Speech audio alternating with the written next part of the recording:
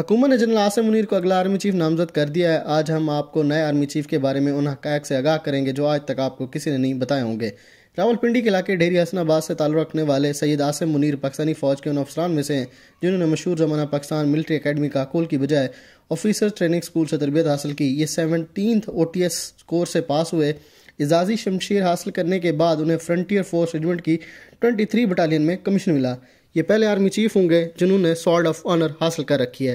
अलावा अजी इन्हें पहले क्वार्टर मास्टर जनरल का भी एजाज़ हासिल होगा, जो कि एक फोर स्टार जनरल के अहदे पर पहुँचे।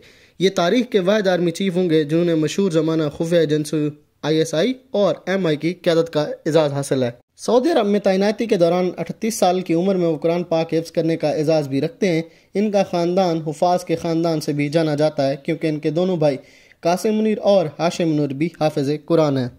नए आर्मी चीफ को बैक वक्त कई माजों पर माजरे का सामना होगा। आर्मी की कमांड उनके लिए फूलों की सेज की बजाय कांटों का बिस्तर साबित हो सकती है।